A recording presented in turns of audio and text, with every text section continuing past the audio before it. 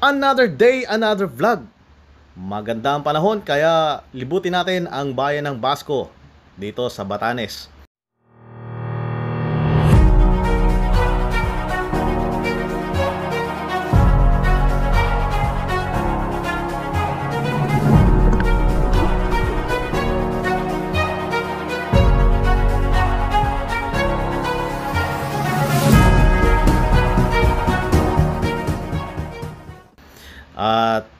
Ah, sabi ni Art ay dadalhin niya ka- tayo doon sa kanilang ah, pinakabayan na kung saan ay nandito yung kanilang mga pamilihan kapag kayo ay ah, mag-grocery o kung ano man yung mga pangangailangan nyo na bibilihin nyo.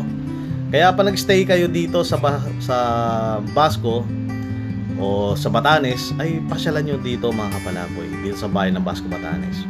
Sobrang tahimik, kita nyo naman at malinis ang kanilang lugar at napaka simple na kanilang pamumuhay.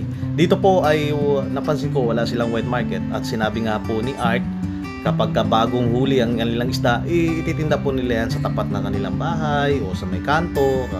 Mamaya po ay makikita nyo kung yung mga naglalako ah, ng kanilang mga bagong huling isda So ayan, nililibot tayo ni Sir Art. Ayan po si Sir Art ang ating ah, tour guide. Ayan katulad po noon, ayun may mga gulay, repolyo. At inaangkat din po nila yan sa ibang lugar. Ah, dahil nga po ito ay daanan ng mga bagyo, mahirap pong magtanim dito ng mga gulay, mga ganyan. Pero may nagtatanim po sa ng mga gulay sa likod bahay nila ganyan. Ayan po mga kapalaboy, yung nagtitinda ng isda, si Kuya. Shout out. Talaga namang ah, masisipag po ang mga ano po, ang mga lokal dito. Ay katulad po niyan, hardware, yun sa kaliwa natin. Ah, ganyan lang po, simpleng-simple lang po ang kanilang ah, pamumuhay dito. Ito po yung ah, bayan na kung saan talaga dito yung makita yung mga kanilang ah, business sa establishment. Ayan, katulad niyan, grocery. Tabi-tabi na po yan, sabi ni Sir Art. Hanggang baba. Nandito po ang kanilang mga kabuhayan. Ayan. Po. At ganyan lang po. Napakasimple po ng buhay nila. Sa pagka month of February po, sobrang lamig at talagang kailangan nyo mag-jacket. Ayan. Ito pong street po na di- dinaraanan namin ay Amboy Street. Yan, dito sa bayan ng ah, Basco. Kahabaan yan. At ayan, tuloy-tuloy lang tayo. Samahan nyo kami. Mahaba-haba pa itong aming ah, pagbabiyahe. At ah, talagang uh, itinutour kami ni Sir Art dito sa kanilang bayan. Ayan, ganyan lang po ang pamumuhay dito sa Basco, Batanes. Kita nyo lang po. Mangilan-ngilan lang po ang tao. At napakatahimik. Magkakakilala po sila, mga kapalaboy. Kaya, ah, friendly at talaga namang ah, sobrang ano zero crime rate ang ah, bayan ng ah, Basco, Batanes. Ayan. Mga goods nila, mga paninda nila doon sa ano, sa mga bayan-bayan. Hmm. Yan oh. Mga fresh na ano no? Isda. Isda.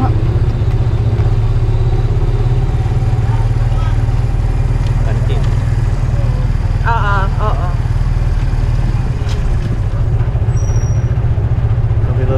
Tabi-tabi, haba nun. Oo.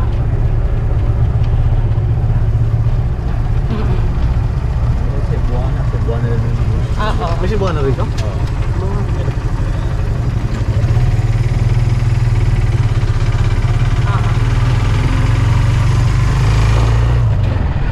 Ano dito rin kayo dumaan kanina? Oo. Sa Philip Plaza. Oo, yan. Ito power ng buong batas, yung office ng, ano, ng provincial governor. Oo, okay. Ilan ba? Mag-withdraw ka ba? Pabalik. Pabalik, Pedro. Ayun mga kapalaboy, this is our first, first time na mag-tour dito sa bayan, town proper ng Basco. Ayan si Art, ang ating tour guide. Ito ang bagong BFF ni Palaboy. Paras kami ng passion. Videography. Ko, photography. DTI. Wow. Ayan ang mga stalls. dito ng Oh. DTI. Ah, okay. Parang nakita ko si ano, si Jetro. One way. Ah, one way, one way, one way.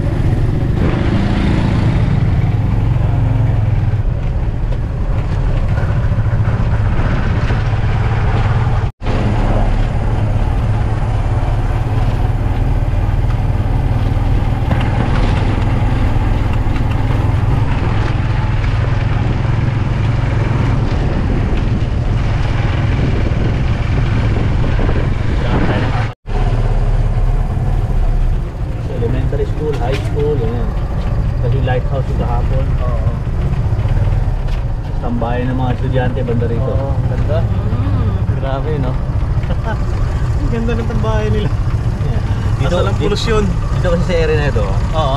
ah, sa Basco area, Oo. dito kasi yung may medyo malakas yung signal, yung data. Mm. Kaya most of the time marami mga naka-standby dito. Aside from mga estudyante, may mga ano kahit sino-sino. Yan yung Basco Oval, pag Oo. diyan ginaganap yung mga iba-ibang mga klase ng sporting events dito sa Batangas. Tapos Department of Education, Oo. tapos National Food Authority, Oo. Ayan yan, ginagawa yan. tapos ang Provincial Tourism ng Batanes. Yan. Tama kayo na may left side natin. Oo. Ito, ito.